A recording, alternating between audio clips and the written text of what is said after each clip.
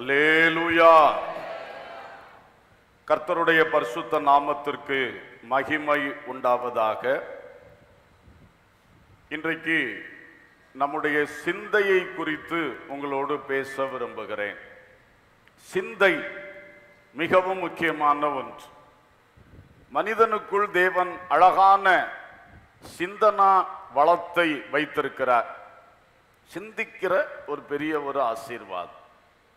இந்த சிந்தனை தான் மனிதனுடைய செயல்களுக்கும் பேச்சுகளுக்கும் நடக்கைகளுக்கும் எல்லாவற்றுக்கும் அடிப்படையாக இருக்கிறது மனிதன் சிந்தித்து அதன் அடிப்படையில் பேசுகிறான் செயல்படுகிறான் நடக்கிறான் எல்லாம் செய்கிறான். சிந்தை எப்படி இருக்கிறதோ அப்படித்தான் அந்த மனுஷன் இருக்கிறான். நாம் என்ன சிந்திக்கிறோம்? அதுதான் நாம். சிந்திப்பதை எல்லாம் பேசுவதில்லை. சிந்திப்பதை எல்லாம் செய்வதும் இல்லை. ஒரு ஃபில்டர் இருக்கிறது ஒரு அரிப்பு இருக்கிறது. சிந்தைகள் நிறைய வரும். அதை கவனித்து செயல்படுத்துகிறோம். அந்த அரிப்பு தான் இந்த வசனம். அல்ல லூயா அந்த ஃபில்டர் வசனத்தை அறிய அறிய மாம்சத்திலிருந்து எழும்புகிற எல்லா சிந்தனைகளையும் வாயினால பேசுகிறது கிடையாது. எல்லா சிந்தனைகளையும் செய்கிறதும் கிடையாது. இந்த வசனத்தின் வழியாக அது சீர்படுத்தப்படுகிறது. அல்லூயா அப்ப இந்த சிந்தனையை எவ்வளவு நன் நல்லா நன்றதாக மாற்ற முடியுமோ அவ்வளவு நமது வாழ்வு வெற்றி பெறும்.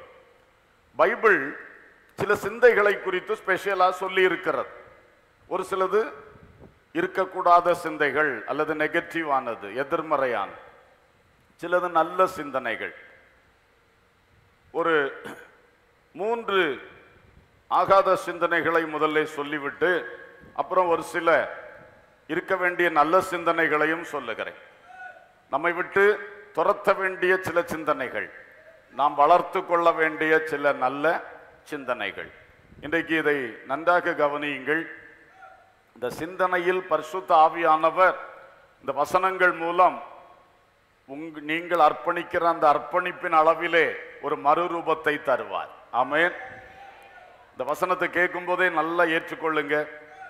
இந்த வசனத்தின்படி நல்ல சிந்தை வர வேண்டும் என்று ஆசைப்படுங்க. ஆண்டவரிடத்திலே கேளுங்கள். நிச்சயம் ஆவியானவர் நம்முடைய சிந்தனையை மறுரூபப்படுத்துவார். அல்லையிலூயா அந்த சிந்தனை மறுரூபமாகும் பொழுது நம்முடைய வாழ்வு இன்னும் மேலான உயர்வுக்குள் வரும். ஆவிக்குரிய ஜீவியம் பிரகாசிக்கும்.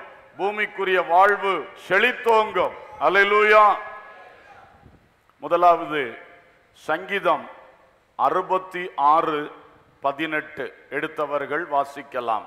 அறுபத்தி ஆறு பதினெட்டு. என் இரு என் இருதயத்தில் அக்கிரம சிந்தை கொண்டிருந்தேனானால் ஆண்டவர் எனக்கு செவி கொடார். என் இருதயத்தில் அக்கிரம சிந்தை கொண்டிருந்தேனானால் ஆண்டவர் எனக்கு செவி கொடார். இங்கே அக்கிரம சிந்தை என்று ஒன்று இருக்கிறது. அக்கிரம சிந்தை. அக்கிரம சிந்தை இருந்தால் ஜெபம் கேட்கப்படாது. நாம் பண்ணுகிற ஜெபம் தேவன் ஏற்றுக்கொள்ள மாட்டார் எனவே இந்த அக்கிரம சிந்தை மிகவும் நஷ்டத்தையும் கஷ்டத்தையும் நமது வாழ்வில் உண்டாக்கக்கூடிய ஒன்றாகவே இருக்கிறது. இது மாற வேண்டும். என்ன இந்த அக்கிரம சிந்தை? ஒழுங்கற்ற சிந்தை. கிரமம் என்றால் ஒழுங்கு. அக்கிரமம் என்றால் ஒழுங்கீனம். ஆண்டவர் வைத்த நல்ல கிரமங்கள் இருக்கிறது ஒழுங்குகள். அந்த ஒழுங்கை மீறி சிந்திக்கிறதும் செயல்படுகிறதும் அக்கிரமம். அந்த அக்கிரம செயல்கள் இந்த அக்கிரம சிந்தனையிலிருந்து தான் உருவாகி வருகிறது. பாவம் சிந்தனையில் கற்பந்தரித்துத்தான் பிறக்கிறது. ஏவாளிடத்தில் சாத்தான் முதலாவது பாவத்தை ஊட்டின பொழுது அவ கையில் கொடுத்துட்டு போகலை. அவ வாயில பழத்தை பறிச்சு சாப்பிடுன்னு அப்படி கொடுத்துட்டு போகல. சிந்தனையில வார்த்தையை போட்டுட்டு போயிட்டான். இது நீ சாப்பிட்டா உன் கண்ணு திறக்கும் தேவனை போல மாறிடுவ. இப்படியெல்லாம் வார்த்தை தான். சிந்தனையில போட்டுட்டு போயிட்டான். அது சிந்தனையிலே கற்பந்தரிக்க ஆரம்பிச்சது. அவன் அந்த பழத்தை அப்புறம் பார்க்கறா. இது நல்லா இருக்கும். புசிக்க இனி இனிமையா இருக்கும். நல்லா இருக்கும். கண்களை தெளிவிக்கும். அப்படி இப்படி என்று உருவாகி அடுத்து அது கிரியையில் வெளிப்படுது. கையை நீட்டி பறித்து சாப்பிட்றா புருஷனுக்கும் கொடுக்குறா. இந்த பாவக்கிரியை அக்கிரம கிரியை எப்படி வந்ததுன்னா அவன் சிந்தனையில் போட்டுட்டு போன ஒரு தாட் ஒரு ஒரு ஒரு ஒரு துளி சிந்தை. அதுதான் பாவமாக வந்தது. அதே தான் இப்பவும் நடந்து கொண்டே இருக்கு. ஒரு மனிதன் அக்கிரமம் செய்கிறான் என்று சொன்னால் திடீரென்று வருவதில்லை. அது இங்கே கொஞ்சம் உருவாகும். கற்பந்தரித்து அது பிறக்கும். ஒரு கோழி முட்டையிலிருந்து குஞ்சு வரணும்னா கொஞ்சம் நாள் ஆகும். அது உள்ளே இருந்து அதுக்குரிய கிரியை நடந்து கொண்டிருக்கும். திடீரென்று வெளிப்படும். இதே மாதிரி தான் சிந்தனைக்குள் கொஞ்ச நாள் அது ஆயுத்தமாகி பட்டென்று வெளியே வரும். அப்போ நம்ம சிந்தனையே பரிசுத்தமாக இருந்தால் சிந்தையே தேவனுடைய நல் ஒழுங்குகளால் நிறைந்திருந்தால் நல்லொழுக்கமுள்ள சிந்தனையாய் இருந்தால் அக்கிரமம் வராது. அக்கிரமம் வராது. சிந்தை முழுவதும் அக்கிரமத்தை நிரப்பி வச்சுட்டு சமுதாயத்துக்கு பயந்து மனுஷனுக்கு பயந்து பெயர் கெட்டு விடுமோ என்று பயந்து அல்லது தேவனுக்கு பயந்து கட்டுப்பட்டு கட்டிப்படுத்தி வாழுகிறவர்கள் இருக்கிறார்கள். கட்டுப்படுத்தி கட்டுப்படுத்தி வாழுகிறவர் இது என்றைக்கும் நிலைக்காது. ஏன்னா சிந்தனைக்குள் இருக்கிறது பட்டுன்னு ஒரு நாள் வந்துடும் அதனால இங்கே சுத்திகரிக்கப்படுவதுதான் உண்மையான நிரந்தரமான வெற்றி. அலையலூயா உள்ளே சுத்திகரிக்காம எப்படி? ஆகவே இன்றைக்கு அந்த அக்கிரம சிந்தை நம்மை விட்டு மாற வேண்டும். நீங்கள் நினைத்து பாருங்கள் பொதுவாக நம்முடைய தனிமையின் நேரங்கள். நாம் தனியா இருக்கிறோம். அப்படி தனிமையா இருக்கும் பொழுதுதான் சிந்தனை பயங்கரமா வேலை செய்யும். ஓடிக்கொண்டே இருக்கும்.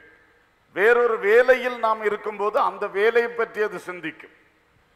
ஒருவரோடு பேசிக்கொண்டிருக்கும் பொழுது அதை பற்றி சிந்திக்கும். ஆனால் ஒன்றும் இல்லாமல் அப்படியே உட்கார்ந்தோம்னா அது என்னென்னமோ சிந்திக்கும். என்னென்னமோ எதை சிந்திக்கினே நமக்கே தெரியாது. நாம் அப்படி சுதாரிச்சா தான் தெரியும் இந்த சிந்தனை ஓடிக்கிட்டு இருக்குன்னு தெரியும். அது பாட்டுக்கு ஓடும். பயங்கர வேகமாக ஓடும். எந்த தூரத்துக்கும் ஓடும். எந்த பழைய காலத்துக்கும் ஓடும். எந்த எதிர்கால கற்பனைக்கும் ஓடும். அதுக்கு ஒரு டைமென்ஷனே கிடையாது. அது எங்கும் போகும் என்னதும் செய்யும். அப்போ இதுதான் இந்த சிந்தனையினுடைய வேலை.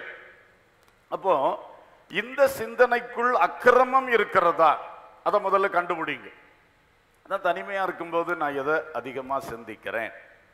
கெட்ட காரியத்தை சிந்திக்கிறேனா? ஆகாதவைகளை நான் சிந்திக்கிறேனா? நல்லொழுக்கம் அல்லாதவைகளை சிந்திக்கிறேனா எப்படி திருடலாம் எப்படி திருடலாம்னு சிந்தனை வருதா? வரலன்னு நினைக்கேன். கத்தருக்கு ஸ்தோத்திரம். எப்படி அடுத்தவனை மோசம் போக்கலாம் என்ற சிந்தனை வருகிறதா? எப்படி பழி வாங்கலாம்? எப்படி அவனுக்கு ஒரு பாடம் படித்து கொடுக்கலாம்? இப்படிப்பட்ட சிந்தனைகள் வருகிறதா? இதையெல்லாம் கவனிக்க வேண்டும். எப்படி அந்த சட்டங்களை மீறி சட்டங்களின் ஓட்டைகளை கண்டுபிடித்து நாம தப்பு செய்யலாம்? இப்படிப்பட்டவைகள் வருகிறதா? குறுக்கு வழியில் பணம் சம்பாதிக்கிற திட்டங்கள் வருகிறதா? இச்சையான சிந்தைகள் சரீர மோகம் காம விகாரம் இந்த மாதிரிப்பட்ட பல்வேறு கெட்ட சிந்தனைகள் அசுத்த நினைவுகள். இவைகள் வருகிறதா? அப்ப எது வருகிற எந்த கெட்ட காரியம் உள்ள இருக்கிறது? அதை முதலாவது கண்டுபிடிக்கணும். அல்லேலூயா!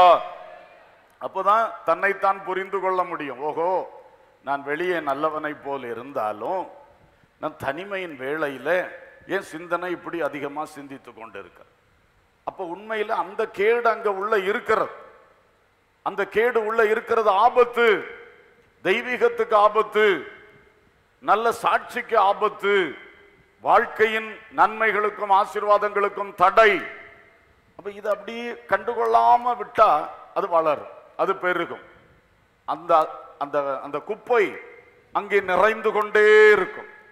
இப்படி அக்கிரம சிந்தை நிரப்பினால் ஜெபம் மேல போகாது. ஆண்டவருடைய வார்த்தைகள் இங்கே கிடைக்காது. ஒரு பெரிய தடையா மாறிடும். இந்த மூளை இந்த சிந்தை ரிசீவ் பண்ண வேண்டியதை ரிசீவ் பண்ணாது. வெளியே கொடுக்க வேண்டியதை வெளியே கொடுக்காது. தடைபட்டு ஜங்ஷனில் நிறைய செல்ஃபோன் டவர்ஸ் வச்சுருக்காங்க. இந்த டவருடைய வேலை என்ன? நாம் இங்கேருந்து பேசுகிறத அப்படியே அது பிக்கப் பண்ணி அடுத்து அது வெகு தூரத்துக்கு அதை அனுப்பி கொடுக்கறது. அது அதுக்குரிய சென்டர்ஸ் இருக்கும். அதில் அனுப்பி கொடுத்து அங்கேருந்து போகுது. ஒரு செகண்டில் இங்கே ஹலோ சொன்னால் ஆயிரக்கணக்கான கிலோமீட்டர்லேருந்து பதில் வருது ஹலோ என்ன? அப்படின்னு சொல்லி. இவ்வளவுத்துக்குள்ள நடக்கிற இது பெரிய வேலை நடக்குது ஆனால் ஃபாஸ்ட்டாக நடக்குது. இது ரிசீவ் பண்ணுது நம்ம கொடுக்கறத பெற்றுக்கொள்ளுது அடுத்தது அதை அனுப்பி கொடுக்குது. அங்கிருந்து பெற்று இங்கே அனுப்புகிறது. இதுதான் இந்த வேலையை தான் மூளையும் செய்யுது. நமக்குள்ளிருந்து எடுத்து அடுத்த ஆளுக்கு சொல்றதுக்குள்ளதை தரு எடுக்கிறது. அடுத்த ஆள் சொல்றத கேட்டு உள்வாங்க செய்கிறது. தேவனோடு பேச வைக்கிறது தே- தேவன் நம்மோடு பேசுகிறத கேட்டு உள்ள தருகிறது. இதெல்லாம் இந்த மூளையின் மூலமாக செய்கிறது சிந்தனை.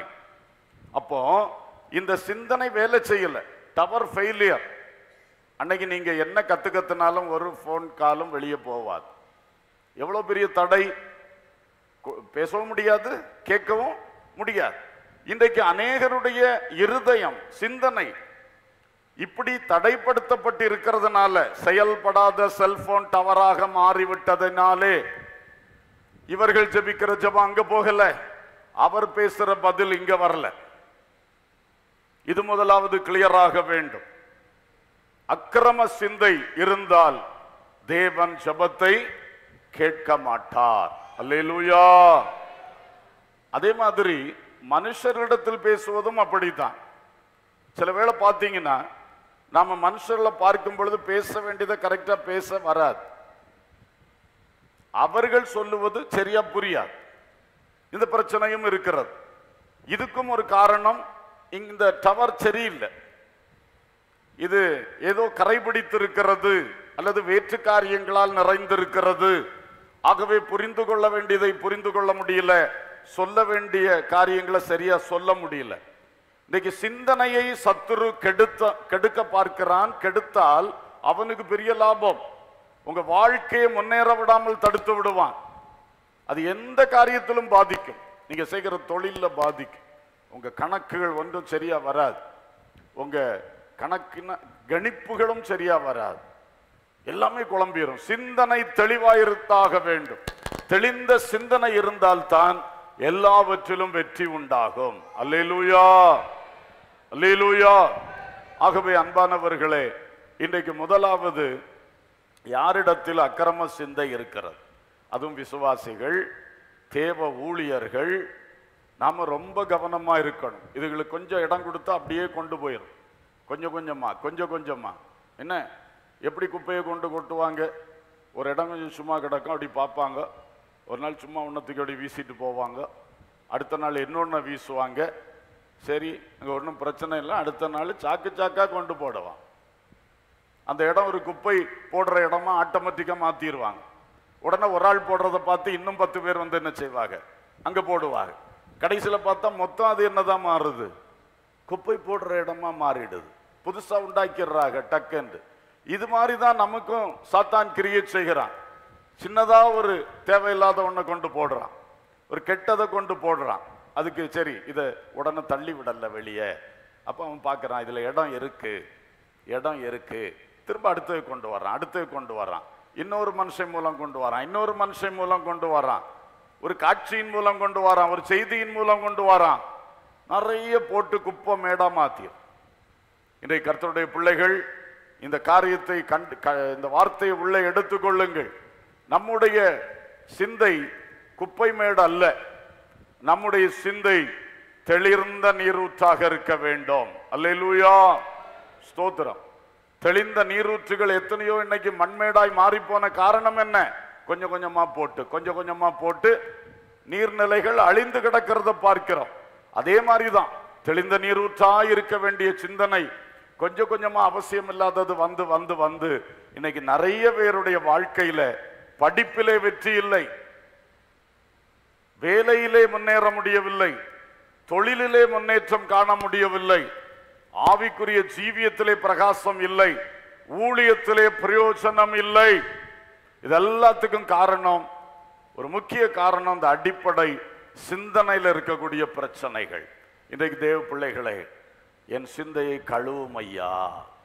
இயேசுவின் ரத்தம் சகல பாவங்களையும் சகல அக்கிரமங்களையும் சகல அசுத்தங்கள் அநியாயங்கள் அநீதிகளையும் நீக்கி நம்ம என்ன செய்யக்கூடியது? சுத்திகரிக்கக்கூடியது. அதை வச்சு தான் நம்ம சுத்திகரிக்கணும். ஆண்டவர்கிட்ட கேட்கணும். ஆண்டவரை இடம் கொடுத்துட்டேன். நீங்க தந்த நல்ல ஒரு மூளை நல்ல ஒரு சிந்தனை வாழ்க்கை. கவனிக்காம கொஞ்சம் கொஞ்சமா இடம் கொடுத்துட்டேன்ப்பா.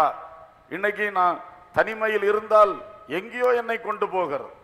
தூங்குனா அது எங்கேயோ கொண்டு போய் ஆயிரம் கெட்ட சொப்பனங்களை கொண்டு வந்து கொண்டிருக்கு. ஒரே கலக்கமும் பீதியும் குழப்பமுமா இருக்கு ஆறு மணி நேரம் தூங்கி எழும்பினாலும் ரெஸ்ட் எடுத்தது போல இல்லை. ஃபுல்லாக ட்ராமா பார்த்துட்டு எழும்பின போல இருக்கு. எல்லாம் காரணம் என்ன? இந்த சிந்தனை இன்றைக்கு சுத்திகரிக்கப்பட வேண்டும். அல்லேலூயா!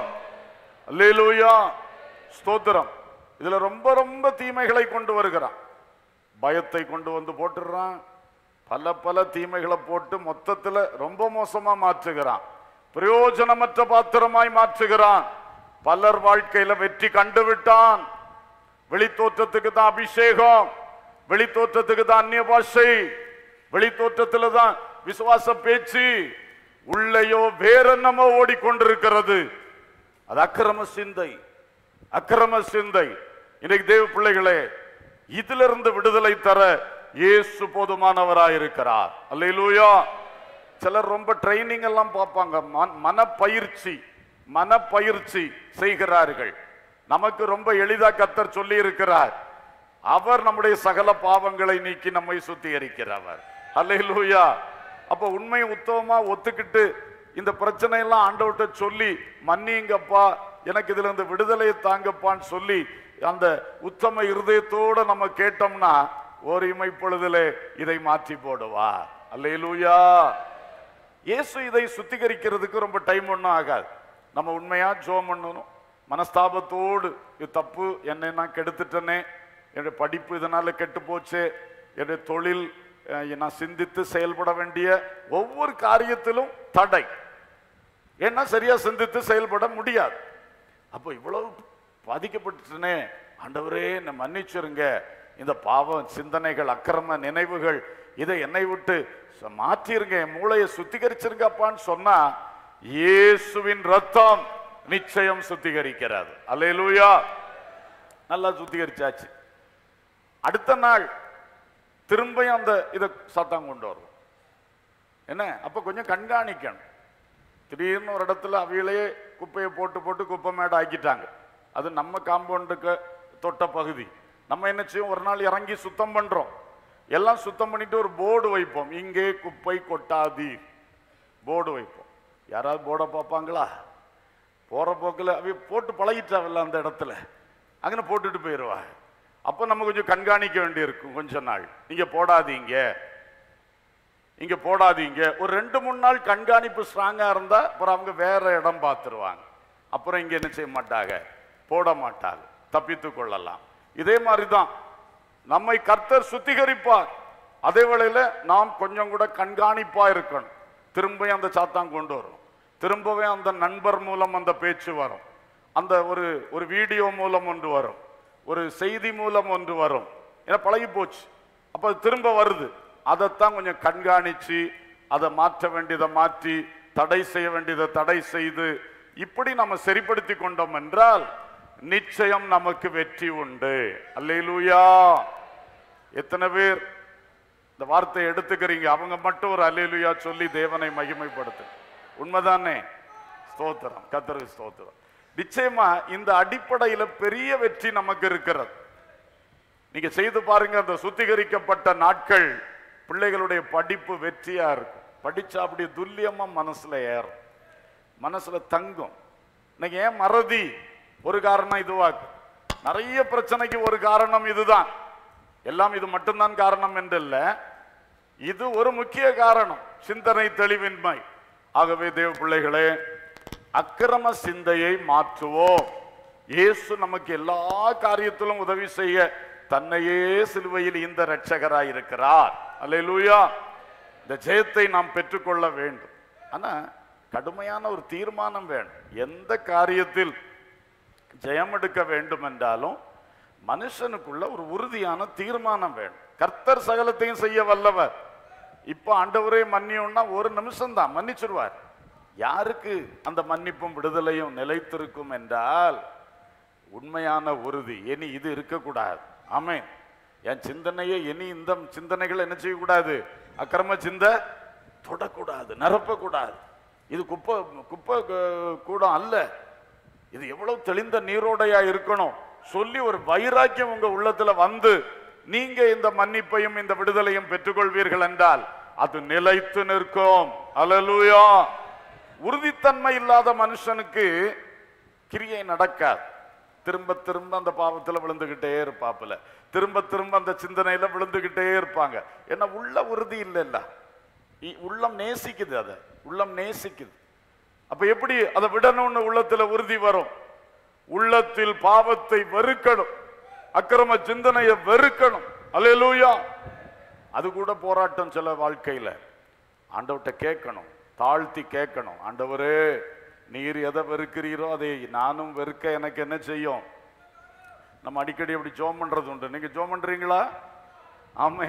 அடிக்கடி ஞாபகம் வரும்போது ஜோம் பண்ணணும். ஆண்டவரே நீங்கள் வெறுக்கிறத நானும் என்ன செய்யணும்? வெறுக்கணும். நீங்கள் விரும்புகிறத நானும் விரும்பணும்.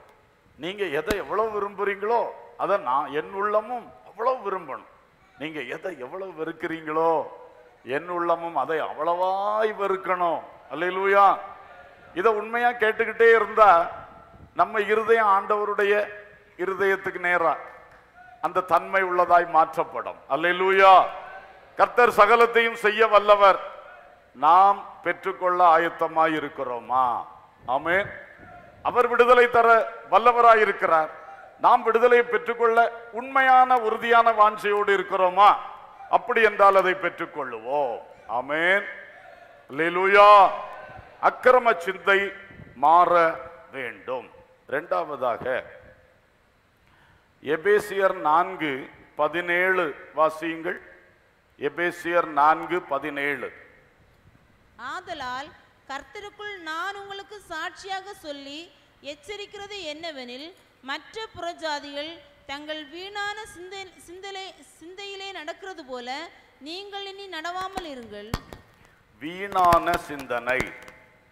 வீணான சிந்தனை. அப்போ முதல்ல பாவ சிந்தனை அல்லது அக்கிரம சிந்தை. ரெண்டாவது இங்கே சொல்லப்பட்டிருக்கிறது வீணான சிந்தை. இந்த வீணான சிந்தனையிலும் நாம் நடக்கக்கூடாது என்று கர்த்தர் நம்மை எச்சரிக்கிறார். அல்லேலூயா. ஸ்தோத்திரம்.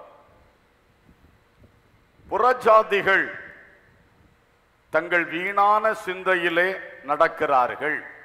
நீங்களும் ரட்சிக்கப்படுவதற்கு முன்பு புறஜாதிகளைப் போலவே வீணான சிந்தனைகளில் நடந்தீர்கள். இனி அப்படி நடக்கக்கூடாது. அல்லேலூயா. இப்ப வீணான சிந்தை என்று சொல்லும் பொழுது ஒன்று அன்வான்ட் தேவையில்லாத சிந்தை. சில சிந்தை நமக்கு தேவையே இல்லை. அதை போட்டு சிந்திச்சுட்டு இருக்கிறது. அதை போட்டு சிந்திச்சுட்டே இருக்கிறது. ஒரு ஒரு கேம்ஸ் இருக்குன்னு வச்சுக்கோங்களேன் சில கேம்ஸ் அந்த கேம்ஸை வந்து விளையாடுறது ஒன்று. சும்மா இருந்து சிந்தனையில விளையாடிக்கிட்டு இருப்பாங்க பாருங்க. அது வீணான சிந்தை. வீணான சிந்தை. கேம்னா நான் எதை சொல்கிறேன் உங்க வீடியோ கேம்ஸை சொல்லல. அது விளையாடிட்டு இருக்கிறது தப்பு இல்லைன்னு நினச்சிடாங்க நான் சொல்லுது ஸ்போர்ட்ஸு. உடல் உடல் இதில் விளையாடுறாங்கல்ல ஸ்போர்ட்ஸு ஃபுட்பால் அது இது அதை சொல்கிறேன் கிரிக்கெட்டு. இதுல எல்லாம் இந்த கிரிக்கெட் மேட்ச் ஒன்று எல்லா இடத்துலையும் ஊடுருவி போகக்கூடிய ஒன்றா இருக்கு. ப பிள்ளைகள் பையன்மார் அதில் ரொம்ப இன்ட்ரெஸ்ட் ஆயிட்டாங்கன்னா கிரவுண்டில் போய் விளையாடுறது சரி. அது உடலுக்கு நல்லது தான் ஓகே ஆனால் அதோட விட மாட்டான். புக் கிரிக்கெட்டும்பான் மைண்டு கிரிக்கெட்டும்பான் இப்படி ஏகப்பட்ட கிரிக்கெட்டு இருபது வருஷத்துக்கு முன்னாலே நடைமுறையில் இருக்கு. இப்போ என்னெல்லாம் இருக்கோ தெரியல. நான் வீணா விளக்கம் கொடுத்து தேவையில்லாததை புதுப்பிக்க விரும்பல. அப்படி இருக்கு. அப்போ மனசுலே விளையாடிக்கிட்டு இருக்கான். கிளாஸ்ல பாடம் கவனிச்ச மாதிரி இருக்கும். இவர் மண்டைக்குள்ள ஒரு கிரிக்கெட் மேட்ச் ஓடிக்கிட்டு இருக்கு அல்லது வேற என்னத்தையா ஒன்று ஓடிக்கிட்டு இருக்கு இப்படியெல்லாம் வீணான சிந்தை வீணான சிந்தை. அது பாவமா? இல்ல அது வீணான சிந்தை. வீணான சிந்தை அங்க இருக்கக்கூடாது. அந்த நேரத்துல நீ சந்திக்க சிந்திக்க வேண்டிய பிரயோஜனமானதை இது தடுத்து பிரயோஜனம் இல்லாததை கொண்டு வருகிறது. சும்மா ஒரு வேலை செஞ்சுட்டு இருப்பாங்க சிந்தனை வேற எங்கேயா ஓடிக்கிட்டே இருக்கு. டிரைவிங் டிரைவிங் பண்ணிட்டே இருப்பாங்க சிந்தனை வேற எங்கேயா போயிட்டு இருக்கும் திடீர்னு ஒன்று வரும்போது தான் இந்த காருக்குள்ளே அவங்க வருவாங்க. அது வரைக்கும் அவங்க மூளை வேற எங்கேயோ இருக்கும். பெரிய ஆபத்துகள்லாம் முடிஞ்சுப்போம் இல்லையா? அதனால இப்படி நிறைய விஷயங்கள் இருக்கு. வீணான சிந்தனைகள். அடுத்து இந்த வசனத்தில் முன்னும் பின்னும் படித்து பார்க்கும்போது இந்த வீணான சிந்தை என்று எதை சொல்கிறாருன்னா மக்களுக்குள் சில சிந்தனைகள் எழும்பி அதையே விசுவாசமா மாத்துறாங்க. அவன் நினைக்கிறாங்க இந்த மிருகம் பயங்கர அகோரமான மிருகமாக இருக்கிறது. அப்போ இது தெய்வமாக இருக்கும். இது தெய்வமாக இருக்கும். அப்படி தங்கள் வீணான சிந்தனையினால் ஒரு தெய்வத்தை உருவாக்கி கொள்ளுகிறார்கள் தங்கள் உள்ளத்தில் தங்கள் சிந்தையில். இது பெருசா இருக்கு. ஆகா இது ஆராய முடியாத பெருசா இருக்கு. அதை தங்கள் மனதிலே தெய்வம் என்று நினைக்க. இதெல்லாம் தான் இந்த வீணான சிந்தனைகள். வீணான சிந்தனைகளினாலே மெய்தேவனை அறிகிற அறிவை தேடாதபடி தங்கள் மனதிலே பற்பல தெய்வங்களை மக்கள் உண்டு பண்ணி கொண்டார்கள் பிறகு அதுக்கு வடிவம் கொடுத்தார்கள். இப்படி நிறைய விஷயத்தில் இந்த வீணான சிந்தை தான் புறஜாதிகளிடத்திலே ரட்சிக்கப்படாத மக்களிடத்திலே இருந்தது. உங்களுக்கும் இருந்தது எனக்கும் இருந்தது. ஆனால் இப்பொழுது தேவனுடைய சத்திய வசனங்களை கேட்டு சத்தியம் என்னதென்று அறிகிறோம். தேவன் யார்? தேவன் எப்படிப்பட்டவர்? இதெல்லாம் நாம் அறியும் பொழுது நமக்கு தெளிவான சிந்தனை கிடைத்தது உண்மையான சிந்தனை கிடைத்தது. இனி வீணான சிந்தனையில் போகக்கூடாது. அல்லேலூயா. அல்லேலூயா. உங்க வீட்டுக்கு விரோதமாய் ஒருவர் மந்திரவாதம் செய்கிறார். அதை தடுத்து நிறுத்தி உங்களை பாதுகாக்க வல்லமை உள்ளது எது? எது? சத்- சரியாத்தான் சொல்றீங்க சத்தமா சொன்னா என்ன? ஆ? இயேசு. இதுல சிந்திக்க வேண்டிய விஷயமே இல்லை. நமக்கு எல்லாத்துக்கும் பரிகாரி அந்த ஒரே பேர் தான் ஹalleluya நீங்க பிரச்சனை ஆயிரம் பேர் சொல்லுங்க வியாதியை ஆயிரம் பேர் சொல்லுங்க மந்திரவாதத்தை ஆயிரம் பேர் சொல்லுங்க ஆனா பரிகாரி யாருதான்? பிறகு ஏன் இந்த இதை சொல்லதுக்கு ஏன் இவ்வளவு நேரம்? இயேசு தான் அப்போ நீங்கள் விசுவாசிகள். ஒரு பூசணிக்காய் கட்டி போடலாமா? பூசணிக்காய் எது கட்டி போடுறாங்க? ஏதோ ஒரு மனிதனுக்குள் உண்டான ஒரு சிந்தை. இந்த போறவன் வாரவெல்லாம் எரிச்சல் கொள்ளுவான் என் வீட்டை பார்த்து. அப்புறம் சில மந்திரவாதம் செய்வான். ஏதோ ஒன்று செய்வான். அப்போ அதை இந்த பூசணிக்காயை கட்டி போட்டா அது என் வீட்டில் தாக்காம நேரம் அந்த பூசணிக்காயை போய் தாக்கிறேன் அதுதான் பலி மிருகம் மாதிரி. அதை பலி கொடுக்குறான். என் வீட்டை காக்கிறதுக்கு ஒரு பூசணிக்காய் அது உண்மையா? அது ஒரு மனிதனுடைய வீண் சிந்தனையில் உண்டான ஒரு காரியம். நிறைய பேர் அதை அங்கீகரித்துக்கிட்டாங்க அதனால அது ஒரு வழக்கமாய் மாறிவிட்டது. இது மாதிரிதான் தேவன் மெய்யான தேவனாகிய கர்த்தர் இல்லாத மற்ற சக்கல ஆராதனைகளும் இப்படித்தான் வந்தது. ஆமேன். இது மாதிரிப்பட்ட நிறைய சடங்காச்சாரங்கள் விஷயங்கள் எல்லாம் இப்படித்தான் வந்தது. அதனால தான் சொல்றாரு இந்த வீணான சிந்தை இருக்கக்கூடாது. நீ பைபிளை படி வேத வசனத்தை உன் சிந்தனையாய் மாற்றிக்கொள். அல்லேலூயா. அதை உன் உள்ளத்திலே விசுவாசித்து விசுவாசமாய் மாற்றிக்கொள். அதுதான் தெளிவான ஆரோக்கியமான விசுவாசம். இப்ப நான் அடிப்படையை சொன்னேன். இதை வச்சுதான் இன்னைக்கு நிறைய கஷ்டங்கள். மனிதன் தன்னை சிருஷ்டி சிருஷ்டித்தவரை விட்டுவிட்டு வீணான சிந்தனையினால் பல்வேறு காரியங்களை தன் வழிபாட்டு பொருளாக மாற்றி கொண்டிருக்கிறான். அப்போ தேவ பிள்ளைகள் எச்சரிப்பாக இருக்கணும் கவனமாக இருக்கணும். நம்மளும் இந்த மாதிரி பூசணிக்காயும் பாலு காய்ப்பு பாலை காய்ச்சி நடு வீட்டில் வச்சு பாலை காய்ச்சி பண்ணுறது இப்போ உள்ள தலைமுறைக்கு கொஞ்சம் அது மறந்துட்டு கத்தருக்கு ஸ்தோத்திரம். முந்தின தலைமுறை அதுல இங்கும் அங்குமா அலசடிப்பட்ட காலங்கள் உண்டு. அதுக்கு முந்தின தலைமுறை அதுல முழுகியே இருந்த நேரங்கள் உண்டு.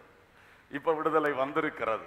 எல்லாருக்கும் அந்த விடுதலை வரட்டும். அல்லையிலூயா இது மாதிரி நிறைய செய்கிறோம். ஒரு கல்யாணம் நடத்தணும்னா அதுல எத்தனை சடங்காச்சாரம் இருக்கு. அர்த்தம் உள்ளது பிரயோஜனம் உள்ளது தேவையானது நல்லது. தேவையில்லாம ஒன்றை செஞ்சுட்டு இருக்கோம்னா அதுக்கு பேர் தான் அவசியம் இல்லாத பாரம்பரியம் சடங்காச்சாரம். இதெல்லாம் வீண் சிந்தனைனால உண்டானது. வசனத்தின்படியான விசுவாசத்தில் வந்தது அல்ல. எனவே கத்துடைய பிள்ளைகள் நாம் எதன் மேல் நம்பிக்கை வைக்கிறோம்? எது மேல விசுவாசம் வைக்கிறோம்? அது இந்த ஆதாரத்திலிருந்து வரணும். வசனத்தில் இப்படி சொல்லி இருக்கிறது அதனால நான் இதை விசுவாசிக்கிறேன். அது நிற்கும் அல்லேலூயா. நம்முடைய விசுவாசத்துக்கு ஆதாரம் ஏது? சொல்லுங்க. வேர்ட் ஆஃப் காட் வசனம். இந்த வசனம் தான் ஆதாரம். வசனத்தை வாசித்து அதனுடைய ஆரோக்கியமான உபதேசத்தை கற்றுக்கொண்டு அது நமக்கு ஒரு ஆரோக்கியமான விசுவாசத்தை கொடுக்கிறது. அந்த விசுவாசம் நமக்கு நல்ல பலனை கர்த்தரிடத்திலிருந்து பெற்று தருகிறது அல்லேலூயா. இல்லாம அந்த புக்கை படித்தேன் இந்த புக்கை படித்தேன் அந்த கொள்கை நல்லா இருந்துச்சு இந்த கொள்கை நல்லா இருந்துச்சு. அவர் சொல்லுதும் நல்லா தான் இருக்கு கரெக்டாக தான் இருக்குன்னு தேவையில்லாம வேற காரியங்களை கொண்டு நம்முடைய விசுவாசமா மாற்றினோம் என்றால் அது மணலின் மேல் வீடு கட்டினவனுக்கு ஒப்பாகும். நான் சொல்லிய இந்த வார்த்தைகளை கேட்டு அதன்படி செய்கிறவனோ கற்பாறையின் மேல் கண்மலையின் மேல் தன் வீட்டை கட்டின புத்தியுள்ள மனுஷனுக்கு ஒப்பாயிருப்பான். அல்லேலூயா. சோ இந்த வீணான சிந்தனைகள் நம்மை விட்டு போகணும். இது போகணும்னா நல்ல பைபிள் படிக்கணும். அடிப்படையாக செய்ய வேண்டியது என்ன? நல்ல பைபிள் படிக்கணும். வசனத்தை சிந்தனையில் பதிக்கணும். அப்போ அந்த வசனம் கிரியை செய்யும். வசனத்திலிருந்து எழும்பக்கூடிய விசுவாசம் நம்முடைய சிந்தையை நிரப்பும். அப்போ இந்த வீணான சிந்தனையினால் நாம் அலைக்கழிக்கப்பட மாட்டோம். அல்லேலூயா. மூன்றாவதாக மாம்ச சிந்தை. வாசியுங்கள் ரோமர் எட்டு ஆறும் ஏழும். ரோமர் எட்டு ஆறும் ஏழும். மாம்ச சிந்தை மரணம் ஆவியின் சிந்தையோ ஜீவனும் சமாதானமுமாம். எப்படி என்றால் மாம்ச சிந்தை தேவனுக்கு விரோதமான பகை அது தேவனுடைய நியாயப்பிரமாணத்துக்கு கீழ்ப்படியாமலும் கீழ்ப்படிய கூடாமலும் இருக்கிறது. மாம்ச சிந்தை அது மரணத்தை கொண்டு வரும். மாம்ச சிந்தை தேவனுக்கு விரோதமான பகையாக இருக்கிறது. மாம்ச சிந்தை என்று சொல்லும் பொழுது இந்த நம்முடைய மாம்சத்திலிருந்து எழும்பி வரக்கூடியது. மாம்சத்திலிருந்து என்ன எழும்பி வரும்? நாம் இந்த மண்ணிலிருந்து உருவானவர்கள். அப்போது ஒரு தாய்க்கு பெ- தகப்பன் தாய்க்கு பிள்ளையா பிறந்து வளர்ந்து வருகிறோம். அப்போ அதில் நமக்கு உருவாகக்கூடிய நிறைய அறிவுகள் அனுபவங்கள் தன்மைகள் இவைகளெல்லாம் இருக்கிறது. அப்போ நான் ஒரு குறிப்பிட்ட குடும்பத்தில் பிறந்து வளர்றேன். அந்த குடும்பத்தினருக்கு இருக்கக்கூடிய தன்மைகள் எனக்கு வரும். அவங்களுக்கு இருக்கிற அறிவு பேசி பேசி எனக்கும் வரும். அவங்களுக்கு இருக்கிற அல்லது அந்த குடும்பத்துக்குள்ள நாம் பெற்றுக்கொள்ளுகிற சில அனுபவங்கள். இது ஒவ்வொருவருக்கும் வித்தியாசமா இருக்கு. ஏன்னா ஒவ்வொருத்தரும் ஒவ்வொரு குடும்பத்தில் பிறந்து வளரும். இனி நம்ம ஆளுகிற சமூகம் ஒரு குறிப்பிட்ட கிராமத்தில் சில பழக்க வழக்கங்கள் இருக்கும் சில பேச்சு நடைகள் இருக்கும். இது நல்லது இது கெட்டதுங்கிற வகையறைகள் இருக்கும். இதெல்லாம் அந்த நம்ம மாம்சத்தில் உருவாகி வருது உருவாகி வருது. இது ஒரு தேசத்தில் இருக்கிறவனுக்கு ஒரு மாதிரி இருக்கும் இன்னொரு தேசத்தில் இருக்கிறவனுக்கு இன்னொரு மாதிரி இருக்கும். அந்த என்வாரன்மெண்ட்டு அந்த ஃபேமிலி அப்புறம் படிக்கிற படிப்பு இந்த ஸ்கூலில் விட்டுருக்கு. அந்த ஸ்கூலில் படிக்கிறது அந்த டீச்சர்ஸுடைய உடைய டிஃப்ரென்ஸ் இருக்குது இருக்கு. வித்தியாசம் இருக்கிறது இல்லையா? நிறைய வித்தியாசம் இருக்கு. அப்ப இவைகள் எல்லாவற்றையும் வைத்துத்தான் எனக்கு மாம்சத்திலே ஒரு அறிவும் ஒரு சிந்தனையும் உருவாகி கொண்டிருக்கிறது. இந்த மாம்ச சிந்தை இது எப்பொழுதும் எனக்குள் வந்து கொண்டே இருக்கும். ஏன்னா மாம்சம் எனக்கு என்கிட்ட தான் இருக்கு. இந்த மாம்ச சிந்தை பற்றி பைபிள் சொல்லுது இது தேவனுக்கு விரோதமான பகை. அல்லூயா இந்த சிந்தையில மட்டும் நீங்க ஓடுனீங்கன்னா கடைசியில் எங்க போய் சேருவீங்க? மரணம். மாம்ச சிந்தை மரணம் எந்த மரணம்? இரண்டாம் மரணமாகிய அக்கினியும் கந்தகம் எரிகிற கடலிலே வாதிக்கப்படுகிறது. அங்கதான் போய் சேரும். அப்ப இந்த மாம்ச சிந்தை உன்னை விட்டு மாறி ஒரு ஆவியின் சிந்தை உனக்கு வர வேண்டும். அல்லையிலூயா அப்பதான் நம்ம ஜெயிக்க முடியும். உலகத்தை ஜெயிக்க முடியும். மாம்சத்தை ஜெயிக்க முடியும். பிசாசை ஜெயிக்க முடியும். ஜெயித்து இந்த மரணத்துக்கு பதில் ஜீவனுக்குள் பிரவேசிப்போ. அல்லேலூயா. தேவனுக்கு விரோதமான பகை அப்படி இருந்த காலங்கள் மாறி தேவனுடைய பிள்ளைகள் என்ற நிலையில் வருவோம். அல்லேலூயா. ஸோ மாம்ச சிந்தை செய்யக்கூடிய பிரச்சனைகளை நம்ம பார்த்தோம். அப்போ நம்ம நம்முடைய அறிவு நம்முடைய கல்வி அறிவு அனுபவ அறிவு பழக்க வழக்கம் தன்மைகள் இது எல்லாம் இன்றைக்கு கிறிஸ்துவுக்குள் மறுரூபப்பட வேண்டியது அவசியமா இருக்கிறது அல்லேலூயா. இது எதனால வருகிறது? இந்த மாம்ச சந்தையை மாற்றணும்னா பரிசுத்த ஆவியை பெற வேண்டும். அல்லேலூயா. பரிசுத்த ஆவியை பெறாம இதுல ஜெயம் எடுக்கவே முடியாது. ஏன்னா ஆவியினாலே சரீரத்தின் கிரியைகளை அழித்தால் பிழைப்பீர்கள். ரோமர் எட்டு பதிமூணு. ரோமர் எட்டாம் அதிகாரம் முழுவதும் மாம்சமும் ஆவியும் பற்றி பேசுகிறது. அப்ப அதுல சொல்லுவது ஆவியினால தான் நீ இதை ஜெயிக்க முடியும். மற்றபடி இந்த மாம்சம் ரொம்ப பவர்ஃபுல் மாம்சத்துக்கு நிறைய வல்லமை இருக்கிறது. சும்மா விடாது. அப்ப இந்த மாம்சத்தை கட்டுக்குள்ள வைக்கணும். இதை அழித்து மாற்ற முடியாது. இந்த மாம்சம் என்றைக்கு நம்ம பூமியில மரணம் அடைகிறோமோ அன்றைக்கு தான் இதுல இருந்து வெளியே வரும். அது வரைக்கும் இதுக்குள்ளதான் நம்ம இருக்கிறோம். அப்போ இந்த மாம்சத்தை கண்ட்ரோல் பண்ணி வைக்கணும். கண்ட்ரோல் பண்ணி வைக்கணும். அல்லையிலூயா ஒரு பைக் இருக்கு. அந்த பைக்கில் நீங்கள் ஒரு சின்ன பிள்ளைய ஏற்றி உட்கா ஸ்டார்ட் பண்ணி உட்கார வச்சுட்டு ஸ்டார்ட் பண்ணி விட்டுட்டு ஸ்டாண்டை போட்டுட்டு ஒரு சின்ன பிள்ளைய ஏற்றி உட்கார வச்சீங்கன்னா அது பாட்டுக்கு எங்கள் அப்பா ஆக்சிலேட்டர் எப்படி தான் திருப்புவாருன்னு சொல்லி ஒரு திருக்கு திருக்குச்சுன்னா அவ்வளோதான் வண்டி என்ன செய்யும்? அப்படி குதிரை பாஞ்ச மாதிரி பாஞ்சு போகும். போகும். இதால் கண்ட்ரோல் பண்ண முடியுமா? மொத்தத்தில் வண்டி எதுவும் சேர்ந்து என்ன செய்யும்? விழுந்து கிடக்கு. ஆனால் ஒரு பெரிய ஆள் அவர் இது படித்தவர் அவர் வந்து வண்டியை ஸ்டார்ட் பண்ணால் கரெக்டாக போகுது. ஏன் போகுது? அவர் கண்ட்ரோல் பண்ணி நடத்துகிறார். இது போல தான் மாம்சம். மாம்சம் உங்களுடைய ஒரு வாகனம். நம்ம நம்ம வாழுகிற ஒரு வாகனம். ஒரு கருவி. அப்போ அதை எடுத்து நம்ம கரெக்டாக கண்ட்ரோல் பண்ணணும். அதுக்கு தான் நமக்கு ஆவியின் பலன் வேண்டும். அல்ல லூயா பரிசுத்த ஆவியை பெற்று ஆவியின் பலத்தோடு இந்த மாம்சத்தை கட்டுப்பாட்டுக்குள்ள வைக்கலாம். இந்த மாம்சத்தை நீ இதை செய் இதை செய்யாத. இங்க பாரு இங்க பார்க்காத. இதெல்லாம் கண்ட்ரோல் பண்றது மாம்சத்தை மாம்சத்தை கொண்டே கண்ட்ரோல் பண்ண முடியாது. இந்த மாம்சத்துக்கு ஒரு எஜமானாக பரிசுத்த ஆவியானவர் வர வேண்டும். அல்லேலூயா அவர் வந்து கண்ட்ரோல் எடுப்பார். அவர் உள்ளே வந்து இந்த ஆவியில தங்கியிருப்பார். நம்ம ஆவியில பரிசுத்த ஆவி தங்கியிருப்பார். தங்கி இருப்பார் அவருக்கு நம்ம கொடுக்கணும் கண்ட்ரோல் எல்லாம் கொடுக்கணும். என் கை உமக்கு நீதியின் ஆயுதம். என் கண்கள் உமக்கு நீதியின் ஆயுதம். எல்லாத்தையும் கொடுத்தோம்னா அவர் கண்ட்ரோல் பண்ணுவார். அப்ப வெற்றியாக இருக்கும். ஹalleluya மாம்ச சிந்தை ஜெபிக்க விடாது. மாம்ச சிந்தை பைபிள் படிக்க விடாது. மாம்ச சிந்தை ஆவிக்குரிய அல்லது தெய்வீகத்தின் வழியில் முன் செல்ல விடாது. மாம்ச சிந்தை பரலோகத்தை நினைக்க விட உலகத்தை தான் நினைக்க வைக்கும்.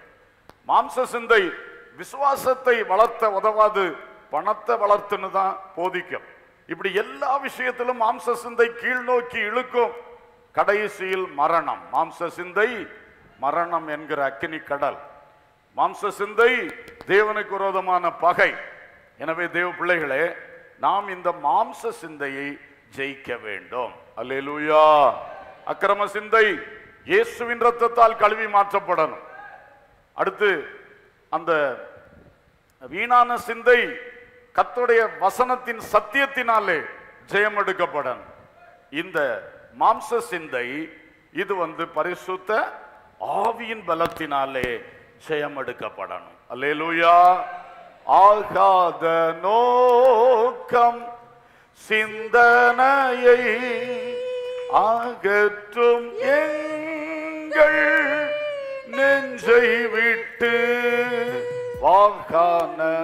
வாக்கானதாக்கோ மனம் எல்லாம் வல்லமையோடு வேண்டிக் கொள்ளோ ஆகாத நோக்கம்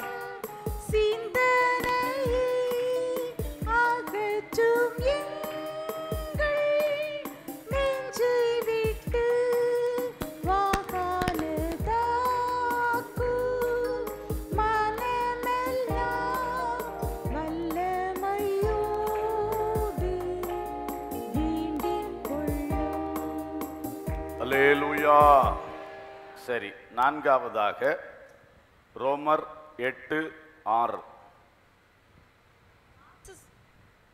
மாம்ச சிந்தை மரணம் ஆவியின் சிந்தையோ ஆவியின் சிந்தையோ ஜீவனும் சமாதானமுமா ஜீவனும் சமாதானமுமாம். இருபத்தி ஏழாம் வசனம்.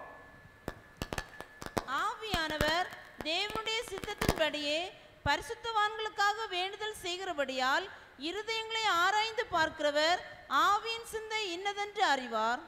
கத்தருக்கு ஸ்தோத்திரம். அப்போ ஆவியின் சிந்தை நமக்கு வேண்டும்.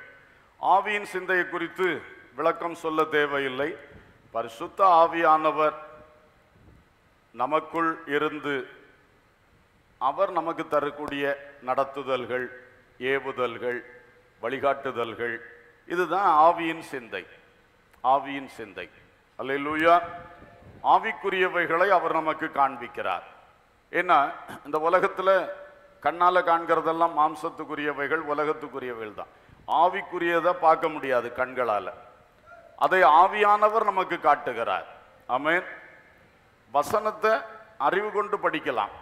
ஆனால் ஆவியானுடைய உதவியோடு வாசிக்கும் போது அந்த வசனத்துக்குள் இருக்கக்கூடிய ஆவிக்குரிய ஞானார்த்தத்தை எடுத்து காட்டுகிறார் இப்படி உலக வாழ்க்கையிலும் சரி தெய்வீக காரியங்களிலும் சரி அந்த தெய்வீகத்துக்கு அடுத்த ஆவிக்குரிய விஷயங்கள் மாம்சத்துக்கு மேலாக செயல்படக்கூடிய ஆவிக்குரிய விஷயங்கள் இதையெல்லாம் நமக்கு தரக்கூடியது தான் அந்த ஆவியானவர் தருகிற ஆவியின் சிந்தை. அலையலூயா இந்த சிந்தை வரும் பொழுதுதான் இந்த மாம்ச சிந்தையை நம்ம என்ன செய்ய முடியும்?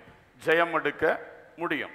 ஐந்தாவதாக ரோமர் பனிரெண்டு பதினாறு. ரோமர் பனிரெண்டு பதினாறு. ஒருவரோடொருவர் ஏக சிந்தை உள்ளவர்களாயிருங்கள் மேட்டுமையானவைகளை சிந்தியாமல் தாழ்மை தாழ்மையானவர்களுக்கு இணங்குங்கள் உங்களையே புத்திமான்கள் என்று எண்ணாதிருங்கள். ஏக சிந்தை. ஏக சிந்தை என்று ஒன்று சொல்லுகிறார். இதுவரைக்கும் நம்முடைய தனிப்பட்ட சிந்தனையை குறித்து பார்த்தோம். இப்போ என் சிந்தனையும் என்னோடு இருக்கிற இன்னொருவருடைய சிந்தனையும் ஒன்றுபடன் ஏக சிந்தையா மாறும்.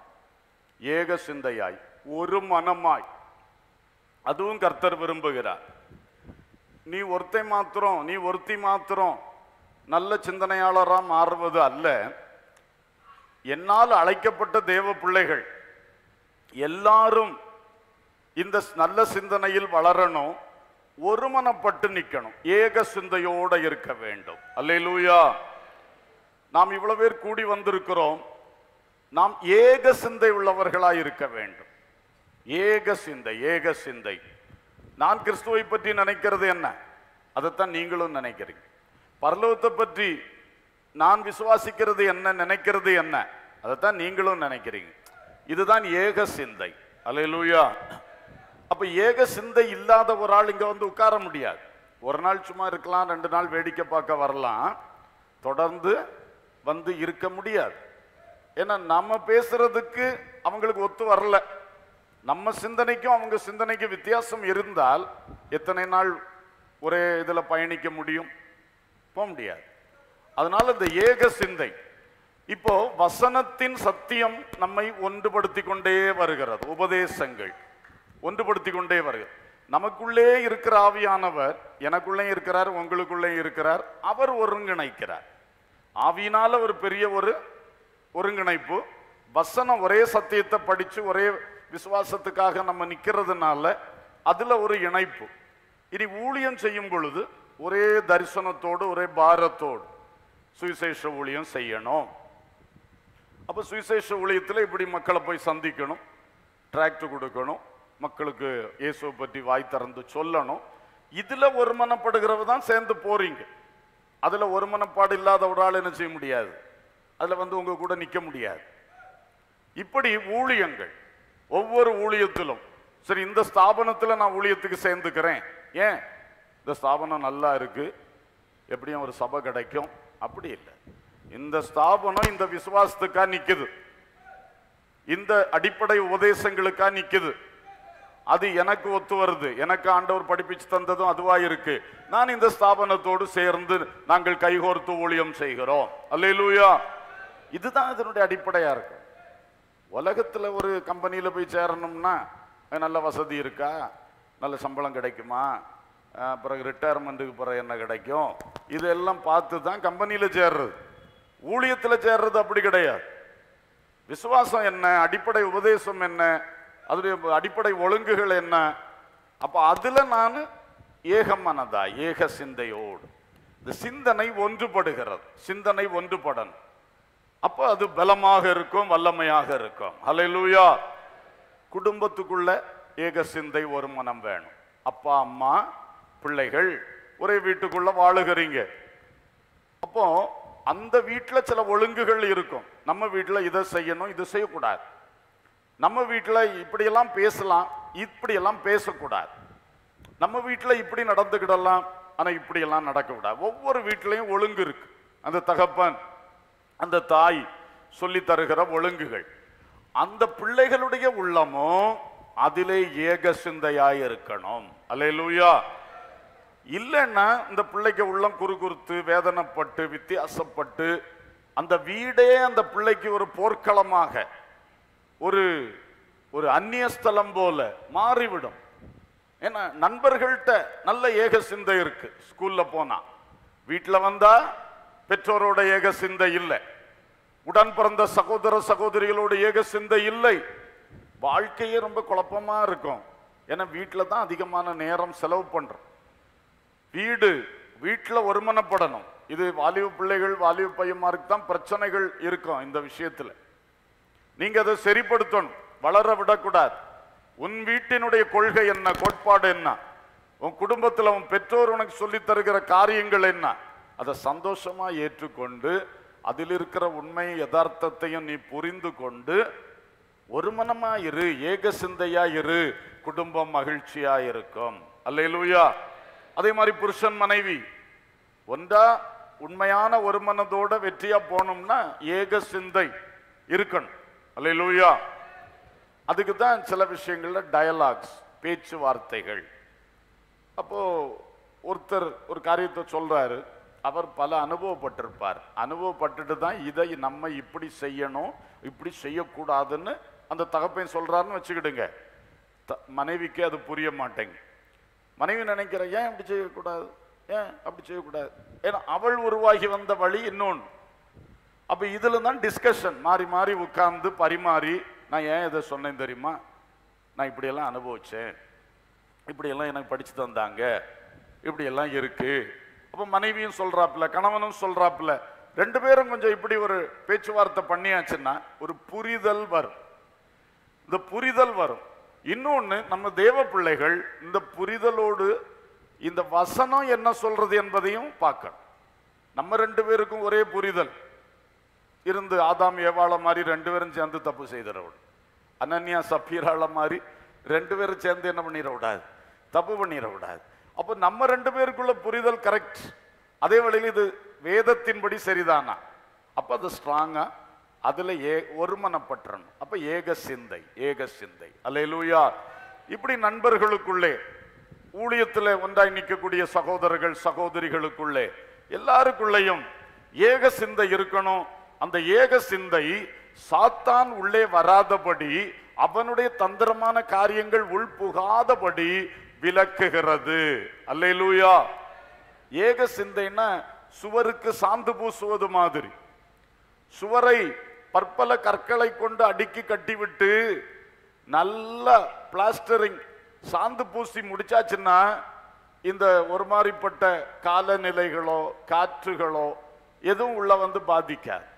அதே மாதிரி ஒரு குடும்பத்துக்குள்ளே ஒரு சபைக்குள்ளே ஒரு ஒரு மனம் ஏக சிந்தை நன்றாக இருக்கும் என்றால் சாத்தானோ பொல்லாத மனுஷனோ பொல்லாத சூழ்நிலைகளோ வந்து அதுக்குள்ள புகவே முடியாது. அல்லையிலூயா அதான் இந்த ஏக சிந்தை ஒரு மனதுக்குள்ள இருக்- இருக்கக்கூடிய வல்லமை. அதை கர்த்தருடைய பிள்ளைகள் நாம நன்றாக வளர்த்து கொள்ளணும். ஏக சிந்தை. அடுத்தது ஆறாவது பிலிப்பியர் மூன்றாம் அதிகாரம் பதினைந்தாம் வசனம். ஆகையால் நம்மில் தேறினவர்கள் யாவரும் இந்த சிந்தையாய் இருக்க கடவும். எந்த காரியத்திலாவது நீங்கள் வேறே சிந்தையாய் இருந்தால் அதையும் தேவன் உங்களுக்கு வெளிப்படுத்துவார். தேறினவர்களின் சிந்தை. அங்க சொல்லியிருக்கு நம்மில் தேறினவர்கள் யாவரும் இந்த சிந்தையாய் இருக்க கடவும். தேறுகிறவர்களின் சிந்தை தெய்வ பிள்ளைகளுக்குள் இருக்க வேண்டும். நாம சும்மா இருந்த வண்ணம் இருக்கிறவங்களா இருக்கக்கூடாது தேறுகிறவர்களாக இருக்கணும் இதுக்கு நீங்கள் ஏழாம் வசனத்திலிருந்து பதினாறாம் வசனம் வரைக்கும் வாஸ்தா உங்களுக்கு நல்லா புரியும். நான் ஷார்ட்டாக சொல்லிடுறேன். இப்போ ஏழாம் வசனத்திலிருந்து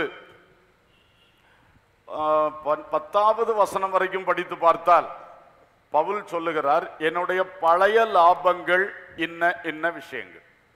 கிறிஸ்துவுக்குள் வந்த பிறகு என்னுடைய புதிய லாபங்கள் இன்ன இன்ன விஷயங்கள். பழைய லாபங்கள் உலகத்துக்குரியது.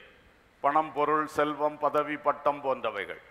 அதையெல்லாம் விட்டுட்டு இப்போ நான் கிறிஸ்துவின் வல்லமை கிறிஸ்துவின் பாடுகளின் ஐக்கியம் கிறிஸ்துவை அறிகிற அறிவு இதுக்கு தான் நான் இன்னைக்கு விலை மதிப்பு கொடுக்குறேன். இதை சம்பாதிக்கணும்னு ஆசைப்படுறேன். அதுதான் அவர் சொல்றார். அப்போ தேறினவர்களின் சிந்தை உலகத்தை அனுபவிக்க வேண்டும் உலகத்தில் பெரியவனாக வேண்டும் என்கிறதை விட்டு மாறி பரலோகத்தில் பெரியவனாக வேண்டும். அல்லூயா அந்த பரலோக பாக்கியத்தை ஒன்று விடாமல் நான் அடைந்து கொள்ள வேண்டும். அதுக்கு என்ன செய்யலாம்? இந்த ஆவிக்குரிய ஆசீர்வாதங்களை அளவில்லாமல் நான் சுதந்தரிக்க வேண்டும். இதுதாங்க தேறுகிறவர்களின் சிந்தை. அல்லூயா சும்மா பேருக்கு விசுவாசியா இருக்கலாம். பேருக்கு ஊழியக்காரராக இருக்கலாம். அது பெரிய விஷயம் இல்லை. யார் அதில் தேறுகிறார்கள்? ஒரு பிள்ளை தேர்ச்சி அடையணும் இல்லை படித்து படித்து படித்து காலமெல்லாம் படித்து நான் ஆறாம் கிளாஸில் தான் இருக்கேன்னு சொன்னால் என்ன விஷயம்? நீ படித்து படித்து ஒவ்வொரு வருடம் தேறி வரணும் தேர்ச்சி பெறணும். அதே மாதிரி தான் நீ இத்தனை வருஷம் விசுவாசியாக இருந்து இத்தனை வருஷம் ஊழியம் செய்து கடைசியில் உலகம் உலகம் உலகம்னு போனால் தேறவில்லை தேறவில்லை. பரலோகம் தேவன் ஆவிக்குரிய விஷயங்கள் இப்படி அங்கே அந்த மனம் அந்த சிந்தை தேர்ச்சி அடையணும். அல்லேலூயா. அடுத்து சொல்றாரு பதினொன்றிலிருந்து பார்க்கும்போது நான் அடைந்தாயிற்று என்று நான் வந்து ஒரு தேக்க நிலையில் வந்து விட மாட்டேன். நான் பின்னானவைகளை மறந்து முன்னானவைகளை நாடி அந்த பரம அழைப்பின் பந்தய பொருளுக்காக லெக்கை நோக்கி தொடருகிறேன். அப்போ நீங்க உலகத்தை தேடுறதை விட்டு உன்னதத்தை தேடுறது தான் தேர்ச்சி. தேறினவர்களின் சிந்தை அப்படி வேலை செய்யும். அடுத்தது நீங்க பழையதை நினைச்சிட்டு இருக்க கூடாது. பின்னானவைகளை என்ன செய்யணும்? மறக்கணும். அதிலும் குறிப்பா பின்னான சாதனைகள். அதை இப்போ நீங்க நினைச்சிட்டு இருக்காதீங்க. ஏன்னா இன்னும் ஓட வேண்டிய ஓட்டம் இருக்கு. லெக்கை நோக்கி தொடருங்கள். அல்லேலூயா. நான் அடைந்து ஆயிற்று என்று நினைக்காதீங்க. அது ஒரு தடை சிந்தை. நான் நல்லா செய்துட்டேன் நல்லா செய்துட்டேன். ஆள் நாற்பது வயசு தான் ஆகும். நான் ஊழியத்தை நல்லா செய்து முடிச்சிட்டேன். இனிதான் ஆரம்பமே இருக்கு உனக்கு. ஆ? நான் சும்மா இதெல்லாம் பேசுறது இல்லை ஒரு ஆள் இப்படி என்கிட்ட சொன்னார். அப்படி இருக்கு மனசுடைய கட்டுகள். ஒரு பத்து வருஷம் ஊழியம் செய்தாரோ என்னமோ தெரியல. நான் நல்லா செய்தாச்சு. இனி என் பிள்ளை தான் செய்யணும். அப்போ அடைந்தாயிற்று. அப்போ இனி என்ன நீ செய்ய போகிற உனக்கு ரிட்டையர்மெண்ட்டா நாற்பது வயசுல? பார்த்தீங்களா இது இந்த சிந்தை தேர் தேராத கேஸ் நம்ம பாசையில் தேராத கேஸ் தான் இப்படி சிந்திக்கு. யாராக இருந்தாலும் சரி. நமக்கு ஒரு கத்தர் வைத்த நாட்கள் இருக்கிறது. அது வரைக்கும் என்ன செய்ய வேண்டியதான் போராடி பிரயாசப்படு. ஹலலூயா நானே முடிவு கட்டி. நான் நல்லா செய்துட்டேன். நல்லா செய்துட்டேன். என்ன நல்லா செய்தி கத்தர் சொன்னதை செய்து முடித்தாயா? கத்தர் இன்னும் உனக்கு வச்சிருக்கிறாரா இல்லையா? யோசித்து பார்த்தாயா? அது யோசிக்க நான் அடைந்தாயிற்று. நான் அடைந்தாயிற்று. அடைந்தாயிட்டுனா முடிஞ்சு போச்சுன்னு அர்த்தம். ஆனா பவுல் சொல்றார் நாம் அப்படி இருக்கக்கூடாது. பின்னானவைகளை மறக்கணும். முன்னானவைகளை நோக்கி தேவன் அழைத்த அழைப்பின் பந்தய பொருள் இருக்கு. பரம அழைப்பின் பந்தய பொருள். அதை நோக்கி லெக்கை நோக்கி தொடரணும். அதுதான் அதுக்கு சிந்திக்கணும். இனி என்ன செய்யலாம்? இன்னும் கர்த்தர் என்ன என்ன செய்ய விரும்புகிறார் அந்த சிந்தை தேறுகிறவர்களின் சிந்தை. அல்லையிலூயா இது ஊழியத்தை வச்சு நான் சொல்றேன். தொழிலையும் அப்படிதான். படிப்புலையும் அப்படிதான். நான் படிச்சு முடிச்சாச்சு படிச்சு முடிச்சாச்சு. இன்னைக்கு நிறைய பேருக்கு இருக்கிற பிரச்சனை தான் படிக்க மாட்டாரு. இந்த குளோபல் யூனிவர்சிட்டியில் சிடிஹெச் முடித்த முப்பது பேரில் டிப்ளமோ படிங்கன்னு ஒரு மூணு வாரம் இங்கேருந்து நான் பேசியிருப்பேனா? எவ்வளவு ஒரு பாரத்தோட சொன்னேன். எட்டு பேர் மட்டும் ஜாயின் பண்ணி.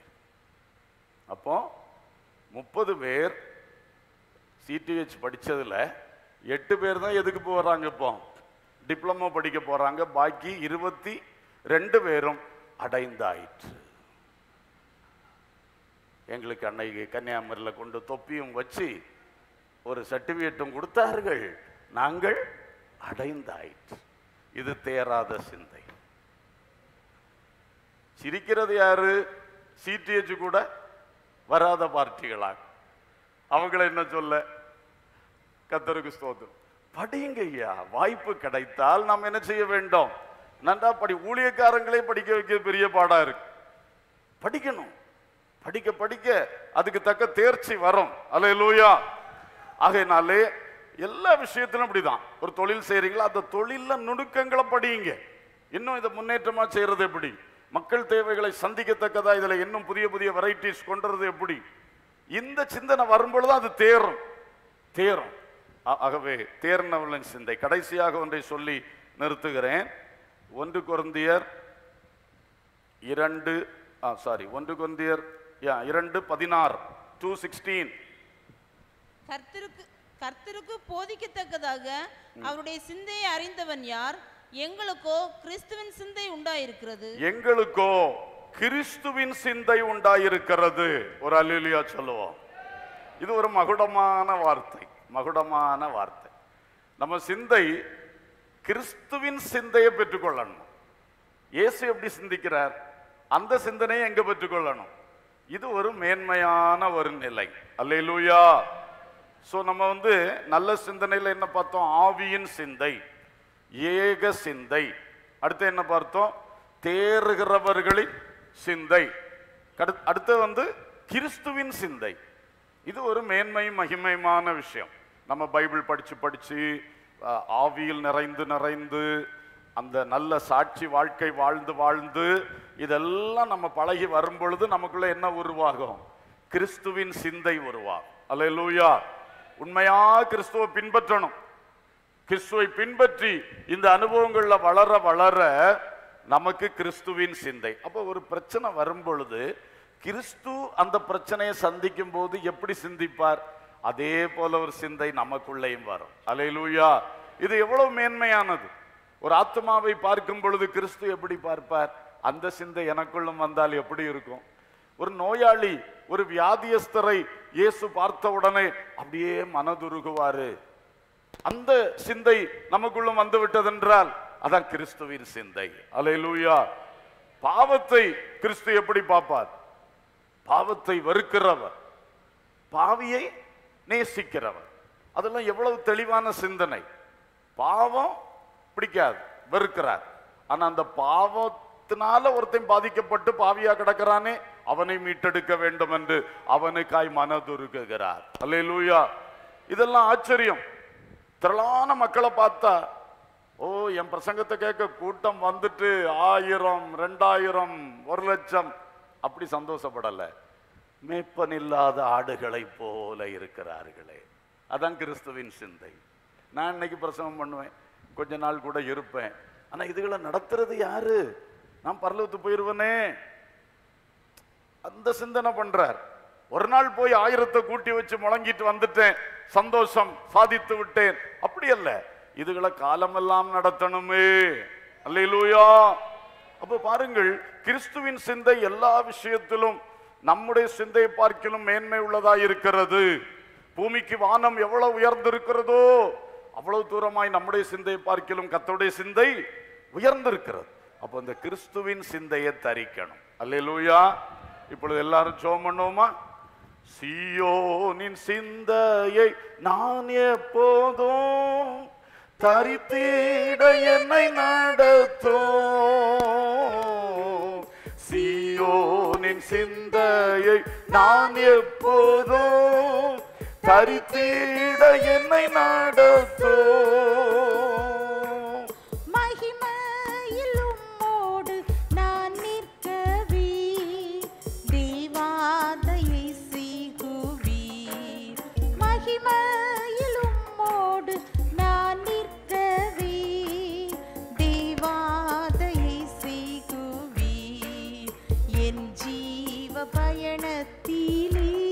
தெரிந்தவர்கள் பாடுங்கள். கருத்தை உணர்ந்து கர்த்தரை நோக்கி பாருங்கள். பூலோகமீதினில்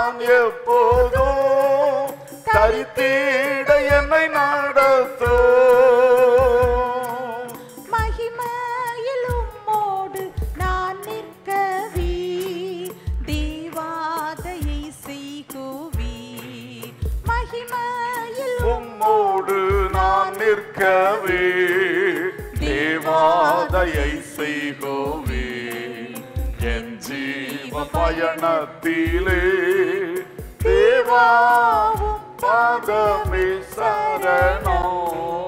ഭൂലോകമീതിനിൽ നീരേ അല്ല. യാരും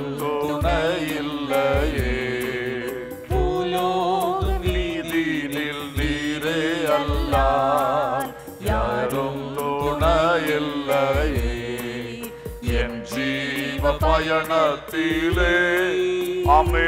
எல்லாரும் வாய் திறந்து ஆண்டவரிடத்திலே ஜோம் பண்ணுவோம். நம்ம கைகளை தலையின் மேல வச்சு ஜோம் பண்ணலாமா? வெக்கப்பட வேண்டாம்.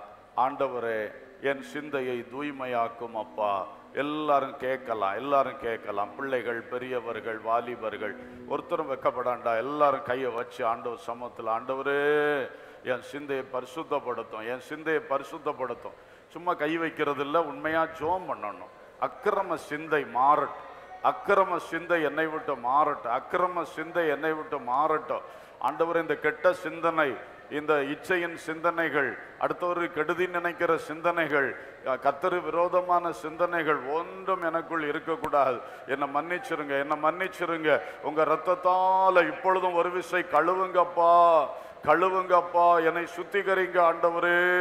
ஹலிலூயா ஹலிலூயா ஹலிலூயா ஹலிலூயா தேவனே வீணான சிந்தை என்னை விட்டு மாற்றுங்கப்பா. வீணான சிந்தையை மாற்றுங்கப்பா.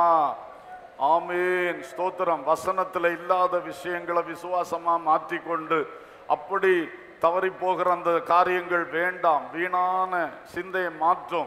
அதுபோல அவசியமற்ற சிந்தனைகளையும் மாற்றுங்கப்பா. ஹாலே லூயா ஹாலே லூயா ஹாலே லூயா ஹாலே லூயா ஹாலே லூயா மாம்ச சிந்தை ஆமீன் கண்ட்ரோல் பண்ணப்படத்தக்கதாய். எனக்கு ஆவியின் சிந்தையத்தார் ஆவியின் சிந்தையத்தார் ஆவியின் சிந்தையத்தாரும் அப்பா நாங்கள் ஒருவரோடு ஒருவர் ஏகோபித்து நிற்கக்கூடிய ஏக சிந்தையத்தாரும் குடும்பத்துக்குள்ளே சபைக்குள்ளே வேலை செய்கிற இடங்களிலே உறவினர்களுக்குள்ளே ஏக சிந்தையை தாங்க ஏக சிந்தையை தாங்க. ஆமீன் தேறினவர்களின் சிந்தையத்தாரும் அல்லது தேறுகிறவர்களின் சிந்தையத்தாரும் பின்னானவைகளை மறந்து முன்னானவைகளை நோக்கி ஆமீன். கர்த்தர் அழைத்த பரம அழைப்பின் பந்தய பொருளாகிய லெக்கை நோக்கி தொடர உதவி செய்யுங்க. ஹalleluya. உலகத்துக்காக ஓடாமல் உன்னதத்துக்காக ஓட உதவி செய்யுங்க. ஸ்தோத்திரம். எனக்கு கிறிஸ்துவின் சிந்தையை தாங்கப்பா. அந்த கிறிஸ்துவின் சிந்தையால் என்னை நிரப்புங்கப்பா. கிறிஸ்துவின் சிந்தையால் என்னை நிரப்புங்கப்பா.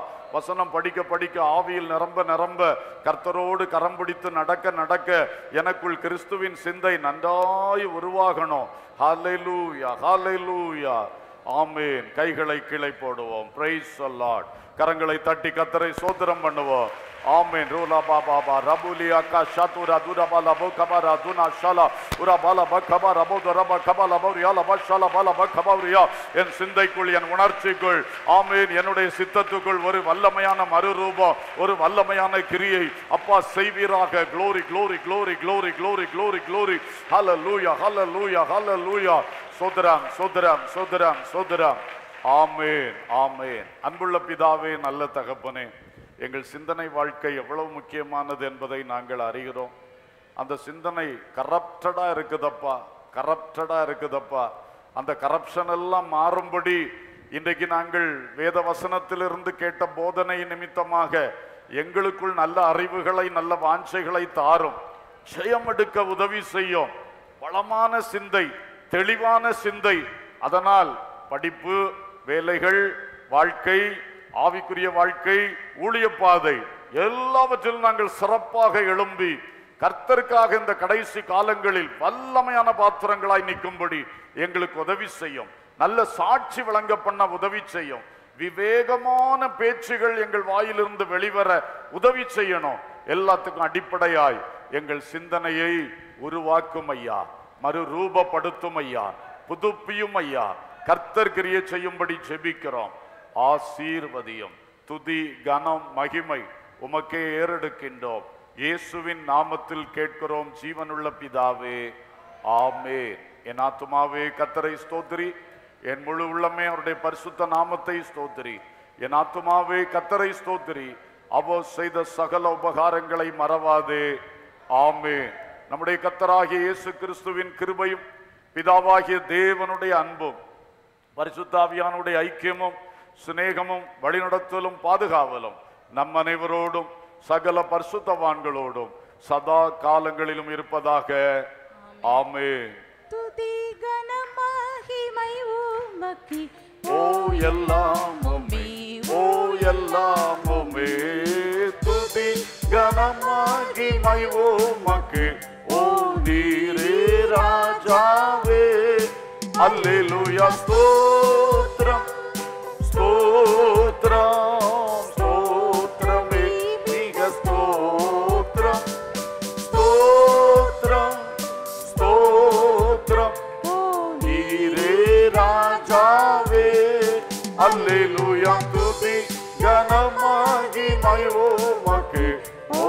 எல்லாமுமே ஓ எல்லாமுமே துதி கனமாகிமை உமக்கு ஓ நீரே ராஜாவே ஆமே அல்லேலூயா. அல்லேலூயா. அல்லேலூயா. கர்த்தர் உங்களை நற்சிந்தையால் நிரப்புவாராக. ஆமே